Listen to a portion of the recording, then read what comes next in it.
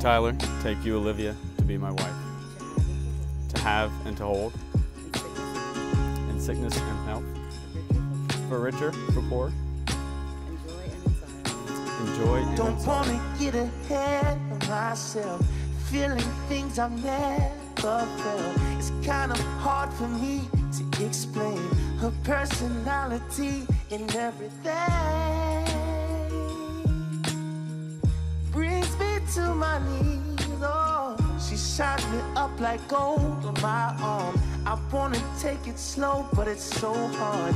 I love to see her face in daylight. It's more than just our bodies at night. But she's really tempting me.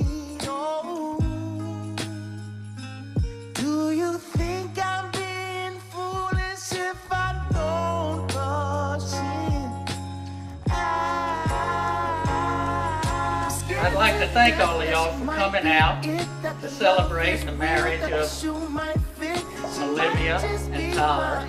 Julie and I, Frank and Lynn, and Terry and Jimmy are really excited to see Olivia and Tyler take the next step in their future.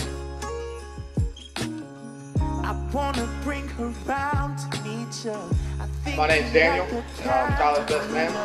I And, uh, I just wanna wanna Thank everybody for coming out tonight, and I'm gonna keep this short and sweet for y'all. Olivia, if it wasn't for you, I would have never met Tyler.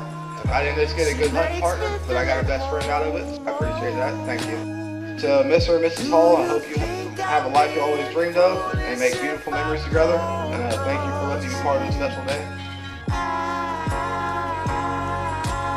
I, Olivia, take you, Tyler, to be my husband, to have and to hold, to have and to hold, in sickness and in sickness and in health, for richer and for poor, in joy and in sorrow. and in sorrow.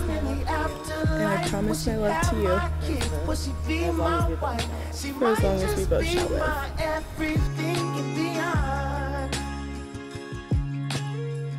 I give up, I'm in love, trying.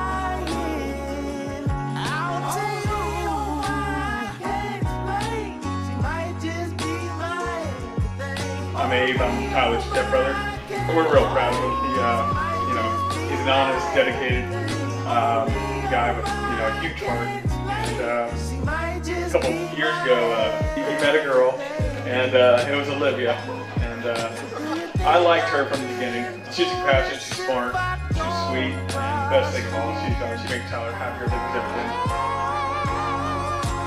Tyler, I love you, and I love you for my best friend. You exceed any and every expectation I would ever require you. Would make climbing Mount Everest look easy if it meant to Olivia. You're an example to me with how you treat the woman you love. But remember, you aren't perfect, but you're perfect for Olivia.